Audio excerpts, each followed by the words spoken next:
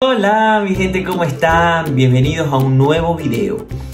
Pero este video quiero compartirle algo personal, algo mío que me pasó y espero que de verdad les sirva a todos ustedes porque es algo que mm, no fue grave, pero sí fue una pérdida, ¿no? Entonces, antes de comenzar este video, no olvides de dejar like, de suscribirte a mi canal, que es muy importante y obviamente no te olvides de activar la campanita para que te llegue todo, pero todos los videos nuevos que yo vaya a subir en el transcurso de todo este mes, de todos los otros meses y todos los años que van a venir, si Dios así lo permite. Y para no hacerlo más largo, comencemos con el video.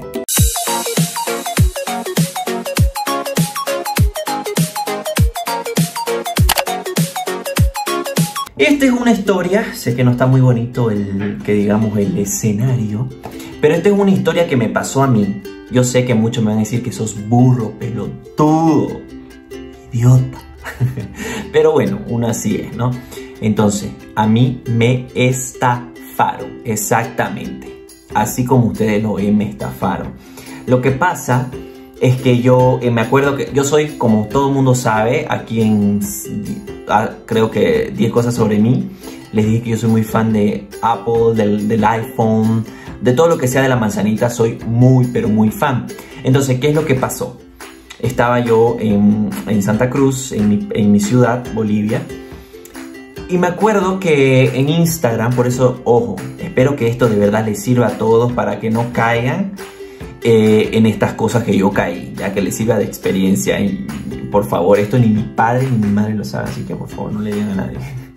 ya, y lo que pasa fue que vi un anuncio, o sea, no fue un anuncio, era una persona que tenía un Instagram que parecía de verdad muy creíble, que decía, te mandamos iPhone, o sea, transportadora, ¿no? Que te mandaban del otro, de Estados Unidos, el iPhone a, mitad de precio, porque ustedes saben, digamos, ¿no? Acá, o, sea, en o sea, en Bolivia no es tan caro el iPhone como en Brasil, pero uno siempre quiere, pues, no economizar. el Canva es así, economizador. Entonces yo me acuerdo que me puse en contacto y obviamente al rato me respondieron y me acuerdo que era el iPhone, no me acuerdo si era el 5S, bueno, hace tiempo para que ustedes vean. Y me acuerdo que estaba súper barato, o sea, no estaba tan barato, pero estaba eh, casi menos, unos 300 dólares o 400 dólares menos que aquí, que menos que en Santa Cruz. Entonces, ¿qué es lo que pasó?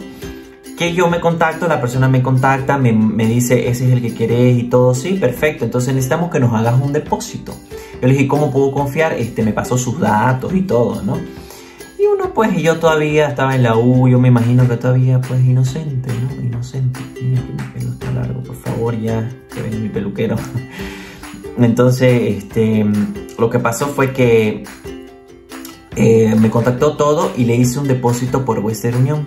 Me acuerdo que él me dijo, no hay problema, porque cuando vos deposité no me pedía todo, me pedía la mitad, era 500 dólares el teléfono, me pedía los 250. Entonces me dijo, mira, deposítame los 250, cuando vos vas a Western Union, ellos te dicen qué código querés ponerle. Porque, y ese código me lo tenés que pasar porque así no, no lo liberan el dinero. Yo dije, wow, entonces no lo libero, lo deposito, pero lo dejo ahí y no lo libero. ¿Ya?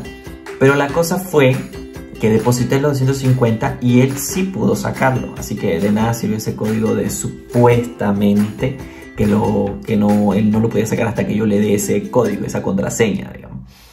Bueno, sacó todo. El tipo, o sea, me la charló bienísimo, que hasta se creó así una página de transporte, o sea, transportadora, donde decía todo detallado, me pasó el código de rastreo y obvio, efectivamente salía ahí eh, el iPhone tanto, tanto y que estaba por no sé dónde, pero a mí me pareció extraño, extraño, ¿no? Un poquito extraño, pero seguí. Así que ya me dijo, te va a llegar 5 o 6 días. Bueno, la persona, ¿qué fue lo que hizo? Esta persona me dijo, ups, nos equivocamos y mandamos dos iPhone. Y yo, uh, feliz, digamos, o sea, todo que soy, sé, por favor, sé, no me odien. Eh, y yo me dijo, vamos a necesitar que nos mandes la otra mitad.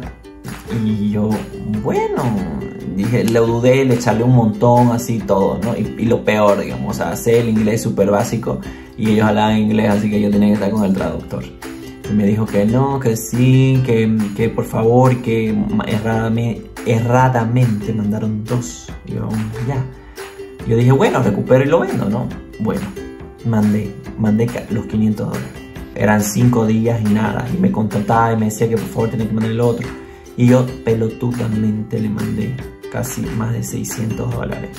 Ya, más de 600, unos 700. Ya, y nada, y nada, ya yo comencé a sospechar, comencé a investigar, porque hasta me dio su Facebook, comencé a investigar, mandarle a sus disques amigos que tenía en común ahí, pero todos eran nada, no me respondían nada, y todo, y, le dije que no, que no iba a creerle más, y bla, bla, bla, y todo, etcétera, etcétera, etcétera. El tipo dijo, no, que, que no te estamos mintiendo, que no sé qué, me mandó un montón de cosas, pero eso no le creo, y bla, bla, bla. La cosa fue que el tipo, ya, me mandó una dirección de aquí. Yo, que, yo dije, wow, ¿cómo vas a ver, no? Me mandó a la calle Warren. Era un hotel y obviamente vos pones en Google, digamos, ¿no? Hoteles en Santa Cruz, digamos. Entonces yo creo que él hizo eso. Que supuestamente en ese lugar, en esa dirección, estaba mi iPhone para que yo lo recoja y que tenían que pagar aduana. O sea, nada que ver, digamos, ¿no? Entonces, nada que ver. Bueno, fui allá, lo busqué absolutamente nada. Lo llamé, le dije que le iba a poner una denuncia y no sé qué, pero obviamente no se va a poder hacer nada porque yo estoy aquí y él está allá. Eh, fui a, a Western. Western me dijo que no podíamos hacer nada, que ya estaba girado y bla bla bla. Y sus datos eran los mismos que me dieron. ¿Y qué voy a hacer con esos datos? Absolutamente nada. Infelizmente perdí más de 700 dólares. ¿Ya? O sea, así los perdí por burro. Yo sé, lo sé, soy burro, trátenme, trátenme, pero de errores se aprende. Nunca más hice eso. Y ahora, eso fue, eso quiero pasarles que ustedes no se dejen caer por estas personas ni por Instagram, siempre investiguen, siempre vean estas cosas porque siempre los quieren tumbar. Hace poco, no sé, creo que a la mayoría de las personas le pasa que no sé si a veces les llega en sus correos unos mensajes de que eh, buenas tardes, que no sé qué, eh, quiero, bueno, estoy en mi lecho de muerte y tengo una cuenta que tiene más de no sé cuántos millones de, de dólares y uno pues se emociona, ¿no? Te piden tus datos, eso me ha pasado a mí, que te piden tus datos, que vos los llenes y bla, bla, bla, etcétera, etcétera, etcétera. Donde te van a dando vuelta, vuelta, vuelta en esas cosas, ¿ya?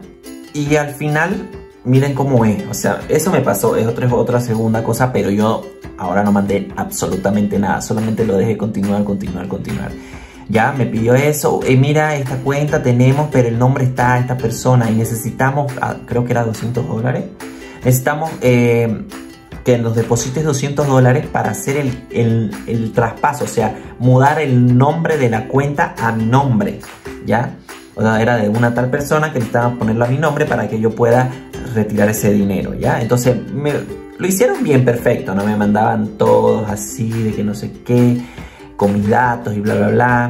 Obviamente me inventé datos, ya no mandé mis datos, no, mandé otros datos y le mandé otro tipo de cuenta, uno que me inventé y todo perfecto. Ahora ya lo único que necesitamos es que tú mandes los 200 dólares para hacer el traspaso de esta, el nombre, para hacer el cambio de nombre a tu nombre y que tú seas el propietario y tú puedas retirar la plata.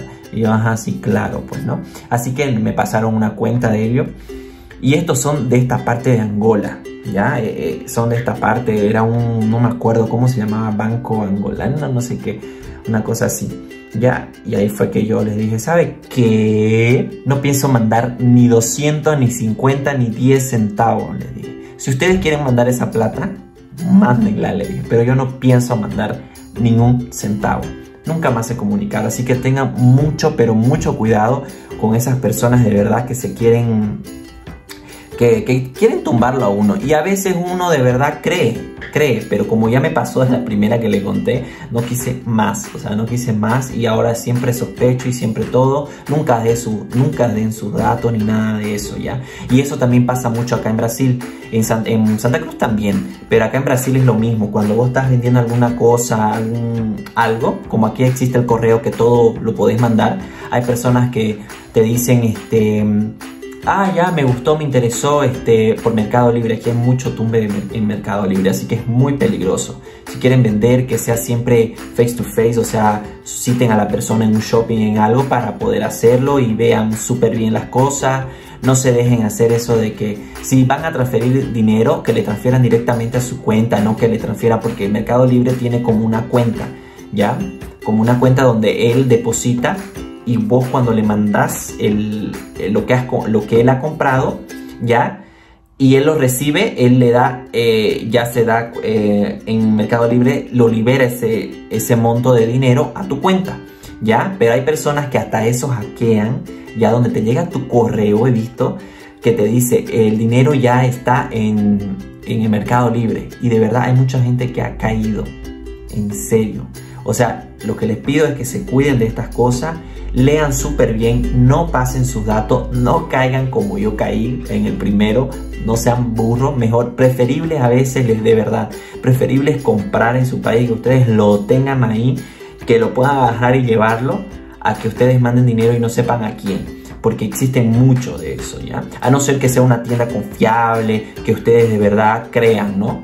pero así porque ven anuncios en el internet, no, no confíen. Eso es lo que quería, espero que les haya gustado les sirva este video. No olviden dejar su like, de suscribirse a mi canal, por favor, por favor, se los pido.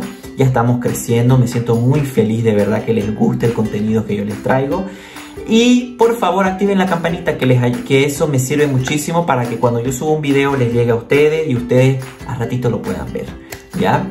Eh, cuídense mucho en esta cuarentena, mantengámonos firmes, con fe y siempre pidiéndole a Dios que salgamos adelante, que juntos vamos a salir. Muchísimas gracias, gracias por ver este video, nos vemos en un próximo video. Chao, chao.